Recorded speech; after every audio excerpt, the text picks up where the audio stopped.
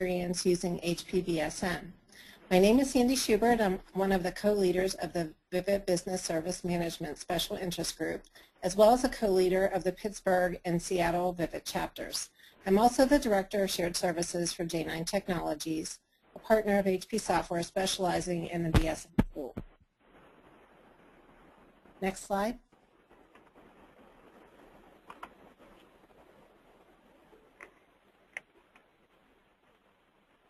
Sorry, there we go. This webinar series is brought to you by the Vivit Business Service Management Special Interest Group, led by Jim Copio, Mark Laird, and myself. Our presenter today is Mary Kay Peterson. Mary Kay is the Director of IT Service and Management and Enterprise Security at Mentor Graphics in Oregon. She is a co-leader of the Vivit Service Management Special Interest Group and the chapter leader of the Oregon Vivit chapter. Some housekeeping. Today's live session is intended for all Vivit members, and the recording will be posted on Vivit's webinar section of the website for all Vivit members. If you have a question as we go along, please type and send them in using the questions pane in the webinar control panel.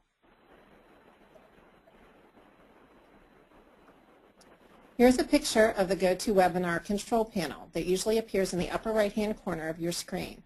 To submit a question, make sure the questions pane is expanded and type in your question and click on send. So let's get started. We'll pass it over to Mary Kay. Well, good morning, uh, good afternoon, good evening from wherever you are. Um, I'm here today to talk about Mentor implementation of HP uh, BSM. We're calling it Measuring the Customer Experience. Um, I've found that uh, when I compare myself uh, uh, or I'm looking at software, it's interesting for me to know a little bit about the company who did an implementation. Uh, so uh, as I compare myself uh, and their ex and experiences, um, I have some kind of backdrop about the company. So Mentor Graphics itself is a, a software manufacturer founded in 1981, so we've been around a good long time. Uh, we primarily do software in the space of electronic design uh, automation, and I'll share a little bit about that in a, in a second. We're publicly held, uh, so um, you know, quarter ends and reporting quarterly earnings are uh, very important.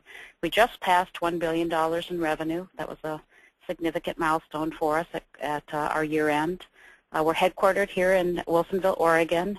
we have about 5,000 employees located worldwide uh, at 70 sites, and about 5% uh, of the employees are uh, IT employees. And we have a uh, work from anywhere uh, workforce, and so even though we do have 70 sites, we do try to enable technology so people can work wherever they are. Um, our company strategy is we target chip and board designers, so we develop software used by uh, people that have double E, electrical engineering degrees, uh, to design chips uh, and boards. And you can see some of our emerging uh, markets. We definitely try to target markets where uh, our competitors are not. Uh, and we have been getting into things like aerospace, automotive, um, high-tech, and uh, mobile devices. Um, Myself, I joined the company in 1994 uh, on a five-year plan. I'm still here. Um, I started with implementing um, uh, ERP applications, uh, SAP at uh, uh. I've done CRM, um, done, done many of the jobs within IT.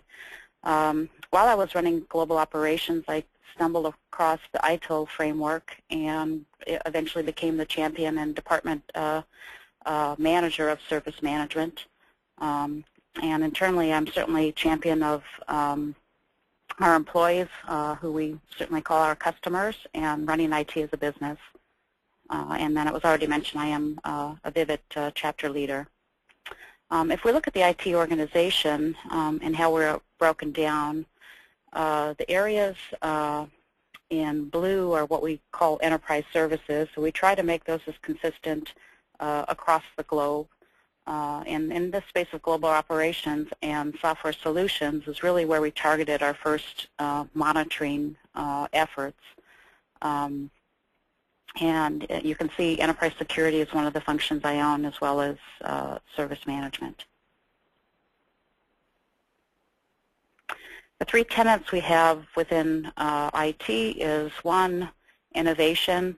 We are a company of software engineers um, and we uh, are forever trying to help deliver uh, leading edge products uh, and, and services to those engineers to enable multi-site uh, collaboration.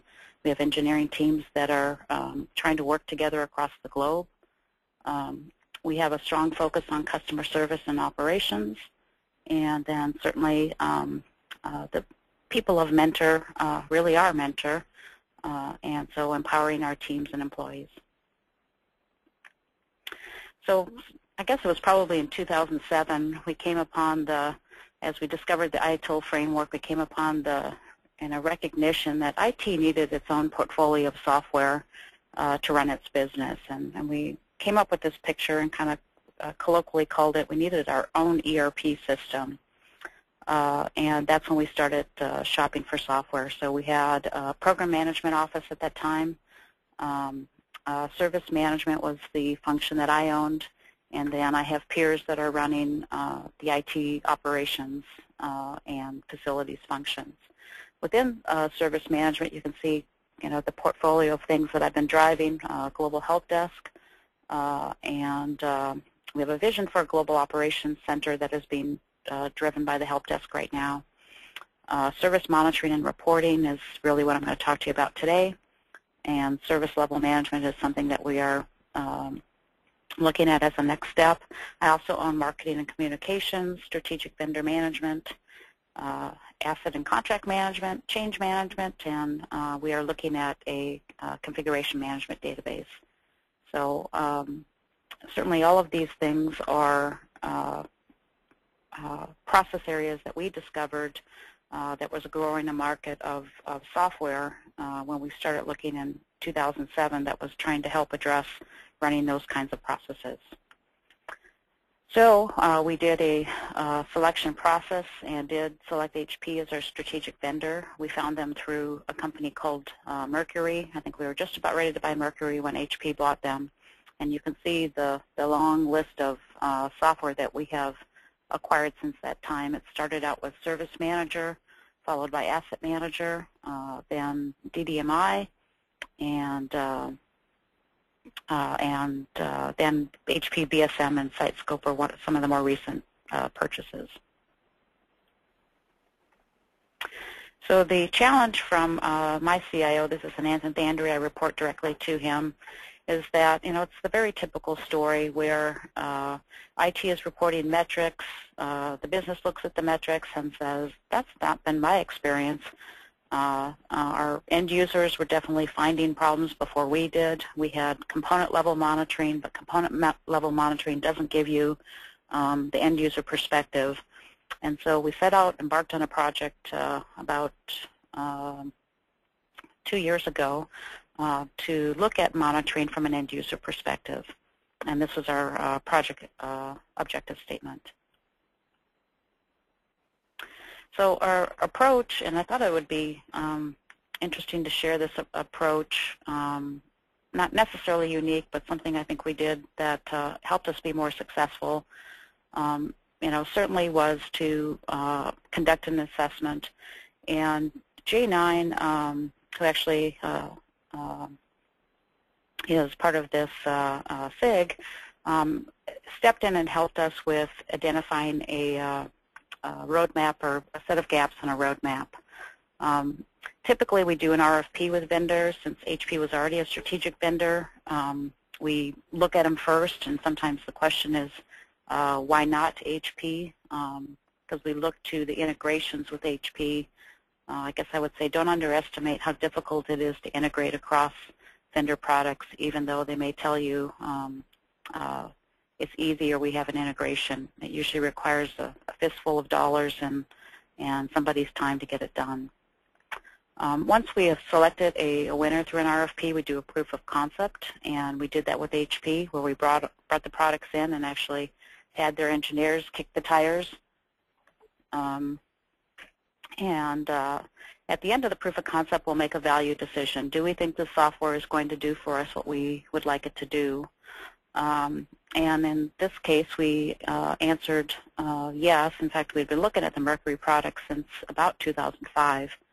So the next step is something that's unique. Even though HP would have loved to have sold me all the software I would need to cover every application at Mentor, we decided to do a small uh, paid pilot. So we selected um, uh, a couple of you know key services. One of them was email. Everybody lives and dies on email these days. And the next was um, a uh, business service that's used to deliver our software. And part of the infrastructure sits at Mentor. Part of the infrastructure sits at an external um, uh, VAR, or I'm sorry, an external uh, service provider. Um, so we thought trying to figure out how to jump the chasm uh, into the cloud, so to speak, um, would be something interesting. Um, at the end of a pilot, we again make a, a, value decision and then either walk away or scale based on what the pilot results uh, are. Um, another key um, uh, strategy that we use is that we use consulting to implement, uh, but ultimately train our staff. Um, I, I, look at consultants as um, as personal trainers uh, for our organization. So our journey began with uh, J9, as I uh, previously mentioned, uh, uh, doing a free assessment for us, and so they certainly um, use that as uh, a way to entice us to take a risk and use them as a provider. Um, you know, the, the assessment was, I would say, fairly uh, lightweight, but some of the challenges we gave to J9 is, one, review our current monitoring landscape, and, and where practical, we wanted to leverage our current investments. So if I already had component monitoring in place, uh, you know, for the data center, um, my first problem wasn't to rip and replace that. Um, I wanted to find the gaps in our monitoring and, and address those first. Uh, so J9 helped us identify gaps and then build a roadmap um, into how we could address those gaps. Um, and then the next was a, uh, a paid-for pilot uh, where we selected the um, uh, software delivery business transaction. Uh, we bought SiteScope, uh, I'm sorry, we bought APM 360 uh, and uh, some SiteScope points and consulting and conducted this 90-day pilot.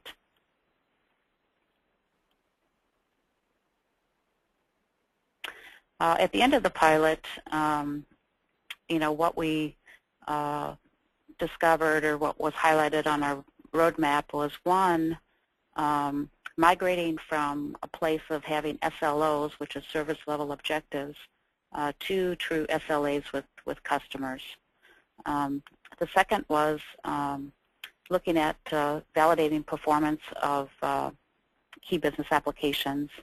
And then uh, finally, what we decided on as far as where our value proposition was is uh, deploying event management, uh, end user, and application monitoring um, and unifying our system and business process monitoring into uh, to provide a central visibility and establish a, a central operations bridge.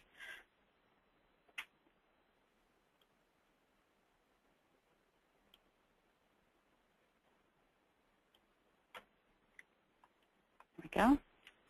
So our, our project objectives uh, became um, first of all, really ratifying that list of critical IT services. So we're an SAP shop. People can say SAP is important, but not all within SAP is equal.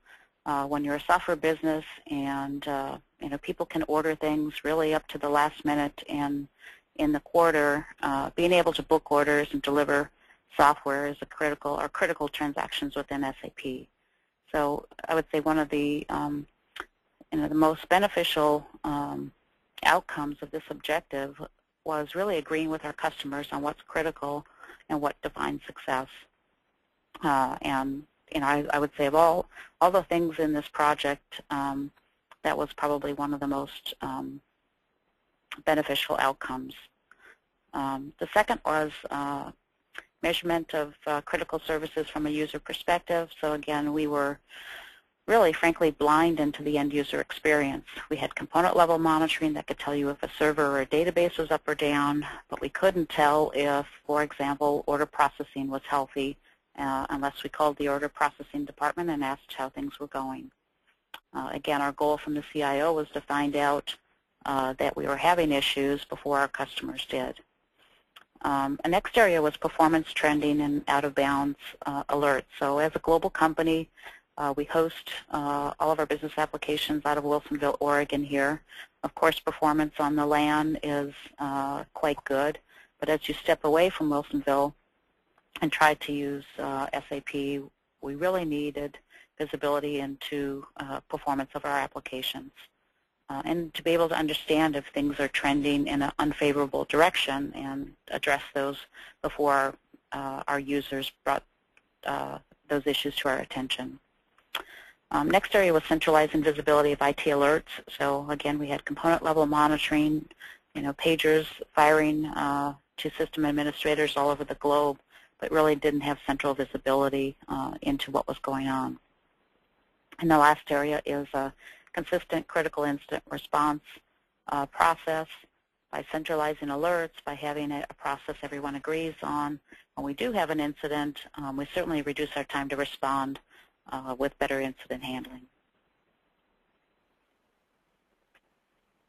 The implementation, uh, so we defined uh, about 30 uh, business transactions that we felt were critical to the business. And we broke the project into uh, batches um, for each transaction um, or I guess business process area such as order entry, we, we gave them a budget of uh, three to five transaction points to figure out if that transaction was healthy. Uh, one of the first things that we discovered is that um, the the technology, uh, BPM Business Process Monitor, um, was fairly easy uh, to build transactions. Um, however, the long path really was about Mentor Graphics as a company deciding on what to monitor. Uh, so the project manager established a startup kit for the application teams who wanted end-user monitoring of what are the prerequisites required uh, before we can really engage and set up transaction monitors for you. So it would involve things like what are the transactions you want to monitor, um, and uh, establishing, in some cases we had to establish uh, a, a monitoring uh, user, if you will. So if you wanted to uh, log in and check that you could go log into a system, um, we certainly didn't want to use a developer account for that login. We had to establish a monitoring user. Um, and then once we had uh, the prerequisites uh, set up, then we could schedule the consultant uh, to uh, come in and help us build the transactions um, although over time we really actually did most of the work in-house. Um, and then the, a very important step is establishing a release process. Once you have a monitoring transaction in place, you have to align with the application release process so that if the application changes, then you have to consider does your monitoring transaction need to change uh, to um, incorporate whatever changes were made at the application level. This particular dashboard is not something you're going to find from HP. It's something we actually built ourselves uh, using uh, technology called uh, QlikView. But this uh, dashboard depicts um, the various applications or business process areas uh, that we define. So ESDM, uh, electronic software download mechanism, was the very complex transaction that uh, uh, touched things in-house Mentor Graphics and also uh, in, in the cloud. Uh, and you can see that we show what the status is and then uh, the last time um, the transaction was updated. Uh, you can actually see in red here where something failed and it depicts where the failure occurred. Um, additionally, so this is really the overview um, dashboard. We do have a drill in for uh, performance uh, and response over time and server uptime. Um, certainly one of the things that is key to establishing, establishing SLAs with customers is you have to be able to uh, measure things. If you can't measure things, it's very, very difficult to make commitments.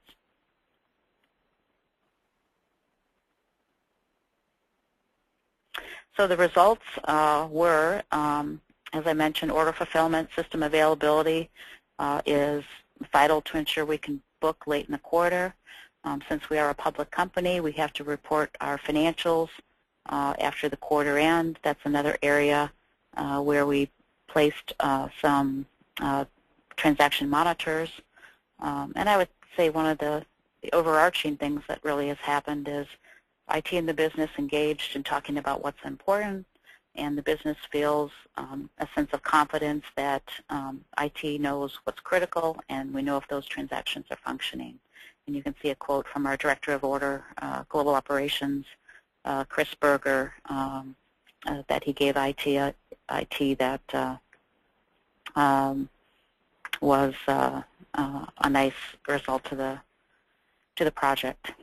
Um, from a lessons learned perspective, um, I think one of the most important things is that we're having data-driven discussions with the business. So rather than someone's perception that IT applications are always down, we actually have data uh, on availability and performance to have those discussions.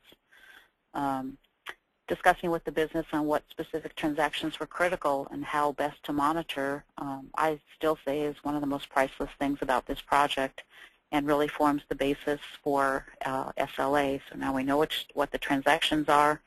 Uh, we are measuring baseline of performance. Um, and now we can have discussions about, um, you know, are things meeting expectations? If they are not, then what do we need to do um, to address that? Um, an additional lesson was uh, it really did take, in some cases, uh, a much longer time than we anticipated to set up the monitoring user. Uh, probably the, one of the more difficult ones was uh, order entry, um, where we actually wanted to simulate uh, across systems. Um, we have found that some of our failure points are the interfaces between systems versus just the standalone system itself. And so we wanted to actually run transactions through uh, order monitoring uh, through to delivery. Uh, and so we had to work actually with our internal auditors on being able to describe uh, what these dummy transactions were. And so when audits occurred, uh, they understood that these zero dollar transactions um, did not certainly affect our financial reporting. Um, another lesson that we learned is that uh, even though at times HP software feels like it's complex, in this particular case, uh, we were uh, very surprised uh, at how easy it was to set up these synthetic transactions. Uh, and J9 uh, certainly enabled us um, with the different flavors of transactions you can set up, uh, teaching us um, you know, how to fish, so to speak. But we are largely on our own setting up those transactions and really only use J9 when we have bandwidth issues um, getting work done. Um, the last point that I wanted to make is that this was one of our first experiences at buying HP software through a VAR uh, instead of HP Direct. And one of the pleasant outcomes of um, this experience is that by having J9 doing the consulting for us, as well as providing our first line support, um, we are really quick to conclude on was it a configuration issue with the software uh, or is it really an HP bug and that needs to get filed and uh, J9 uh, certainly has good contacts inside of HP to help us um, escalate anything that is uh, that has been critical. Um, so I, I really look to this kind of model uh, as I buy HP software in the future to get my support through the VAR that helped me do uh, the configuration.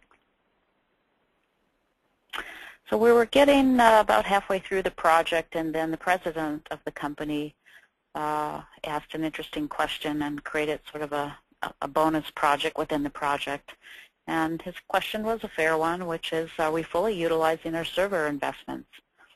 So while we had been spending all of our time really looking at end user uh, um, transaction experience, uh, he pulled us into a project and we happened to have some SiteScope points. SiteScope is really more the component level monitoring uh, points available to very quickly um, uh, deploy to about 2,100 servers uh, and establish uh, a consistent capacity uh, planning mechanism. Um, so initially we were looking at CPU and memory on all engineering standalone servers. Uh, we use grid and also virtual servers uh, to try to determine how we make capital investments. Probably about three, four years ago, um, IT became the uh, procurement um, arm for engineering for buying new equipment. And without any sort of economics in the in the equation, engineering could ask for uh, equipment, and uh, IT had really little defense to decide whether that investment should be made or not. Uh, so um, SiteScope here is really, again, allowing us to make decisions with data. Uh, in the first quarter that we deployed, uh, we deflected about 90% of our, our server capital, um, you know, while we were really trying to determine um, if if it made sense to make uh, capital investments. Uh, so again, engineers are are uh, um, are making having data-driven discussions with with engineering.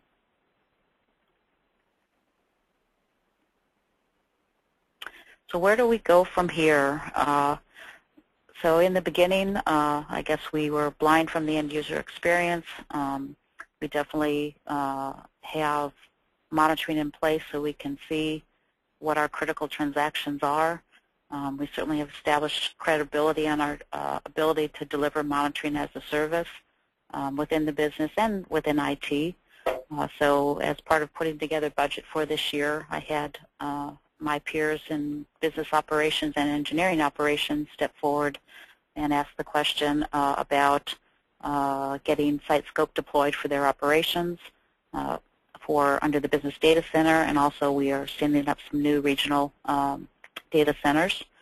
Um, another next step is looking at um, a product called DDMA, which allows you to map relationships between components and then link them to business services. So we are going to do a pilot uh, this year with uh, DDMA uh, and standing up our first use CMDB. Um, and then last, uh, looking at further uh, deployment of BPM for kind of a next tier of applications.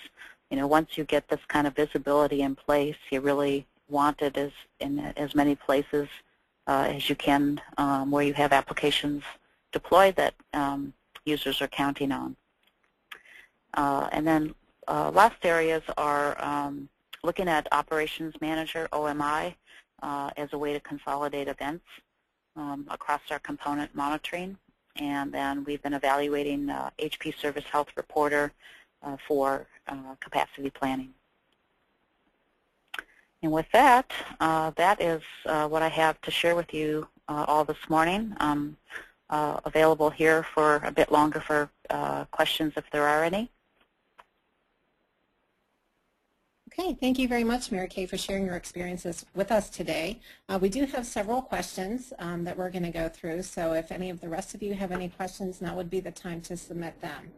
Um, the first question that we have is, did you perform an ROI analysis?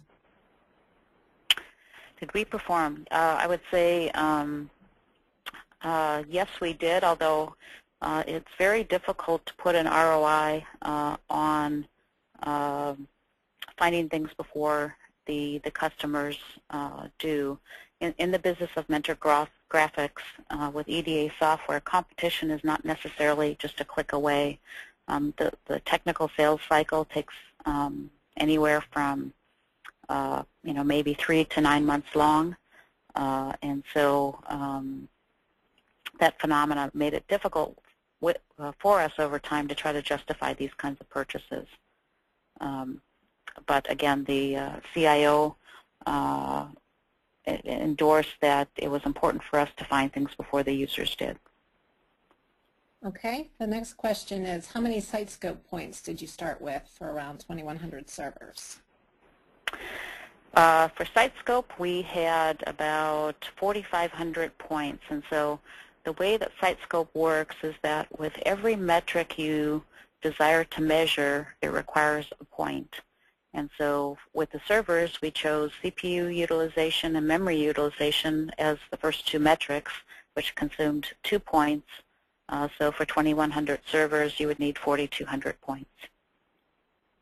Okay, the next one is why was it necessary to build your own dashboard? Um, was the BSM, sorry, this is a long one, was the BSM dashboard, I can't get the rest of the question on this one. Um, I, would I would guess I can kind of get the gist. Oh, inadequate, it. was the BSM dashboard inadequate? I apologize.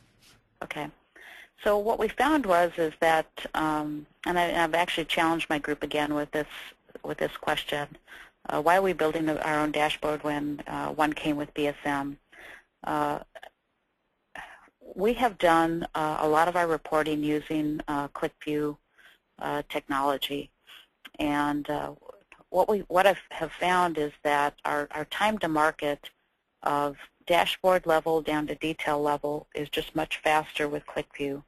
So while we could um, certainly mock up um, some level of uh, dashboard within BSM, and I would encourage you all, if you're uh, exploring that, to definitely look at what comes with uh, BSM. Uh, we found it just aligned with uh, other strategy to use Qlik for, QlikView for reporting. Okay. Uh, one is, are you using OMI? I think you said that you're considering that. We are uh, actually uh, considering that right now, yep. And that's really consolidation of events uh, because, you know, certainly a next step. Right now our monitoring uh, sends an email to the help desk and that triggers uh, our critical incident response process. Um, a next step is really to um, uh, really automatically feed those alerts into HP Service Manager. And uh, that is best done through an integration using OMI. Okay.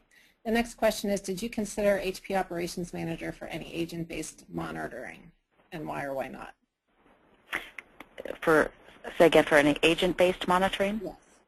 Um, we uh, looked at it, but I guess really arrived at SiteScope as being uh, as providing uh, good enough monitoring for us. Um, you know, I guess my, my experience over time with, with monitoring, and everybody has certainly different experiences, is that you can gather a lot of metrics with some of these tools, uh, but you really have to ask yourself the question, what are you really going to use at the end of the day? Um, you can fill up disks full of um, metrics, um, but unless you have uh, somebody who's going to spend time and unless it's driving some kind of decisions, uh, it, it's not necessarily helpful. Uh, the one thing we did like about SiteScope it, is it is agentless, uh, and it was very quick to deploy. Okay. The next question was similar to that on Operations Manager. So um, can you explain more about the value-based decision-making process you went through when moving from POC to pilot and to full deployment? Yeah.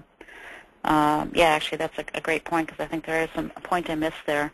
Um, the, the POs, the proof of concept uh, that we did, really the, the paid for, first it was really bringing HP in here um, for maybe less than a week just to kind of show us the technology. You see things on PowerPoint. They seem uh, conceptually under, you know, interesting, but it's really bringing the software in here, standing it up and, and saying, how hard is this to do? Do we see the value?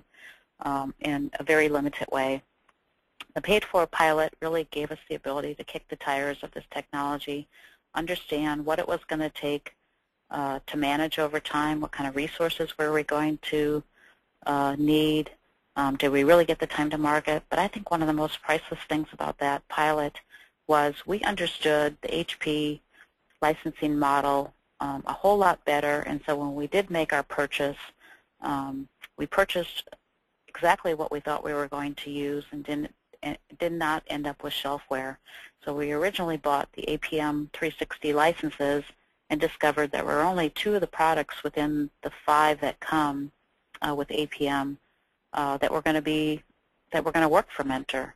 So we bought those two products uh, and and no more. And I, I would say at the end of this, the good news is is we fully deployed everything we bought. Um, that doesn't always happen. It always seems like there's extra pieces and parts that you bought that you thought you were going to use um, that uh, just didn't happen for whatever reason. You use templates for SiteScope to deploy standard monitors?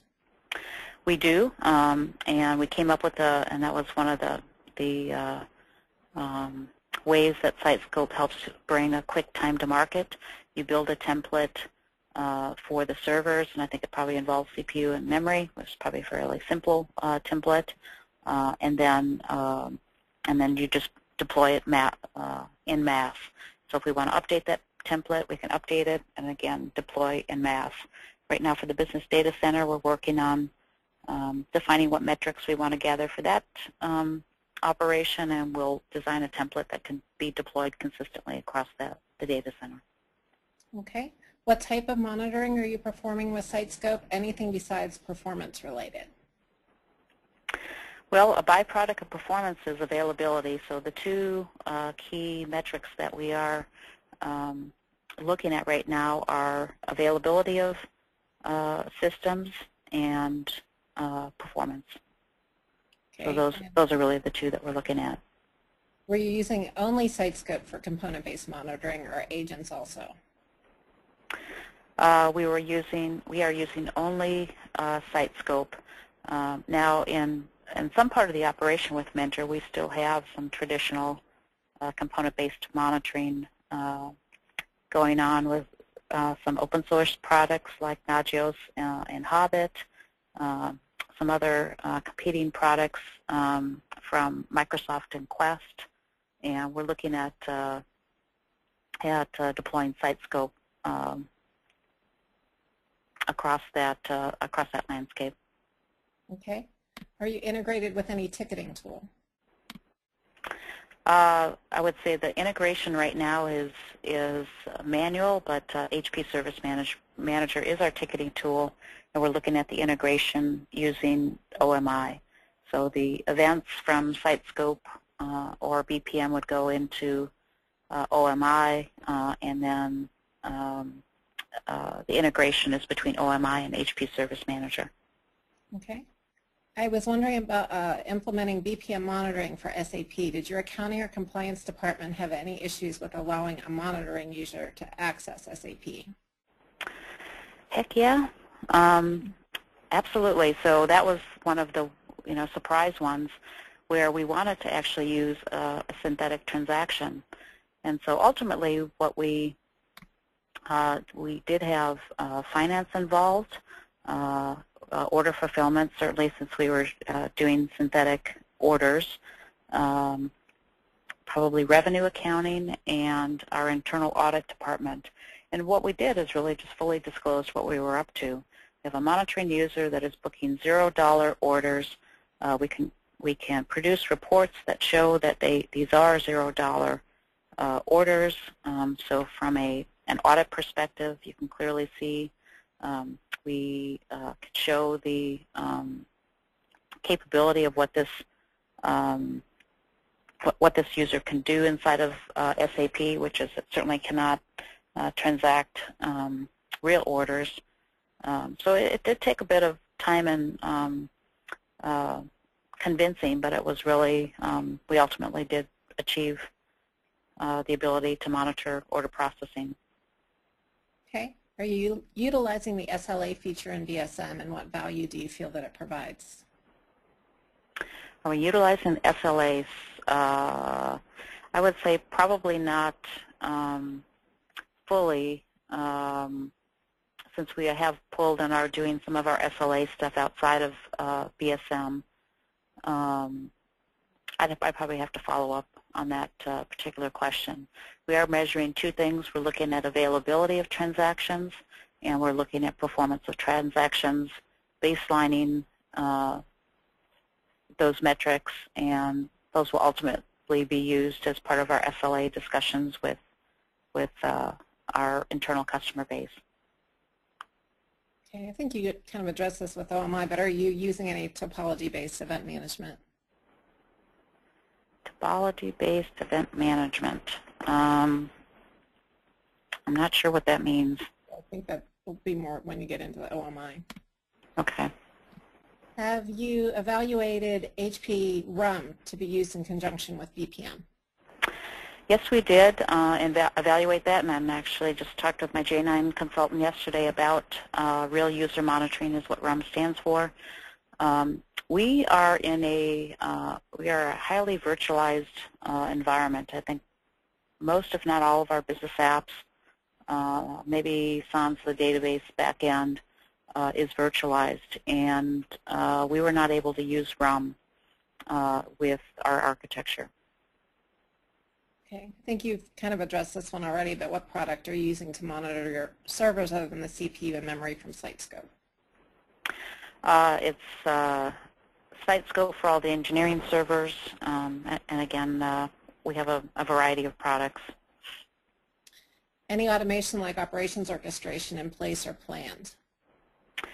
Uh, there is actually on the engineering side of the house, they are looking at server automate, or actually we've done a pilot um, with uh, server automation and operations orchestration. Um, operations orchestration is an, another thing we discussed yesterday is something that could be used with monitoring. If you detect some kind of condition, you can then fire off operations orchestration to take some kind of step. It might be to restart a service. If the service still doesn't restart, then uh, alert um, someone that uh, uh, something needs to be done um, I would say that's kind of a next step in maturity. Um, with a, lo a, lot of this, I mean, HP sells a very holistic um, process flow. Um, you have to decide, and for a company our size, we decided that uh, gaining visibility into um, end user experience was the first step we wanted to take, and, and now we will look at next steps in maturity. How was your transition from BAC to BSM? With such a vast difference in the two versions, what was the most difficult task? Uh, we were fortunate enough to um, really start out on uh, BSM 9.0, so we, we did not have to make a 8 to 9 transition. We actually were probably one of the first uh, customers, and, and I, I would say the only thing we were challenged with is that the consulting community, including J9, the product was very new to them as well. So there was a little bit of learning learning curve for everybody. How do you address storage and network layer monitoring? How are they integrated into your monitoring suite? Uh, at this point, they are separate. So we are using uh, separate tools for uh, network monitoring um, and uh, storage resource management um, ultimately, you know, the events certainly come together uh, at the help desk uh, level, but uh, from a product perspective, they're separate right now. We're actually looking at HP uh, product for um, for networking right now. Is SiteScope monitoring mostly Unix server or Windows server, or is it a combination of both? Uh, it's both. It's definitely both. All right. Any plans to use NNM for network monitoring and integrate that with BSM? Uh, evaluating. Has BSM been stable for you? I would say uh, largely yes. Uh, I, I, know that the upgrade we did to, I believe it was 9.1, we had some bumps. Um, as I always uh, certainly tell my team, um, I don't take upgrades just because they come out um, because oftentimes you're uh, exchanging, you're fixing known bugs but introducing unknown. Um, and so I think we had a little bit of instability, but J9 helped us work through it. Did you run into any challenges politically in putting monitoring on the applications from the app owner, and how did you manage that? You know, that was that was interesting. Um, the corporation here really seemed to want monitoring. And even though you might think that the application groups are saying like, oh no, Big Brother is here to, to watch us, I think they felt that um, their availability and performance was better than what was being characterized. So when you only are when you only have perception to deal with as your data points, um, you know those stories can get uh, uh, embellished as being something much bigger or uglier than what really is going on. Um, so the apps team were, were actually really welcoming uh, this, and I think from a business perspective, um, the business appreciated being engaged in the discussion about um, what they felt was vitally important, and then knowing that we were watching it. So it was, it was positive, I think, all around. Okay, and I have one more question. How many BPM probes have you deployed? We have uh, deployed, I think we're probably coming close to 150. And again, we gave a budget of uh, three to five, um, you know, transaction points per per application. I think in some some ways the apps team probably want more, uh, and um and so we just started out with trying to get breadth of coverage first before we we get into really depth of coverage. Okay, well, that's all the questions that I have. Mary Kay, I'd like to thank you again so much for sharing um, with us today and taking the time to do so. I'd like to also thank all of you. It's great to have all of the questions, and so thank you very much for your participation. Um, just wanted to let you all know that this presentation will be posted to the VIVIT website for your future reference. And also, in the next several weeks, be watching for a survey coming out to the BSM SIG. We'd like to know how we can best tailor the SIG to meet your needs. And then towards the end of May, we'll be holding our next, next BSM SIG webinar. So thank you again for your participation today, and have a great day.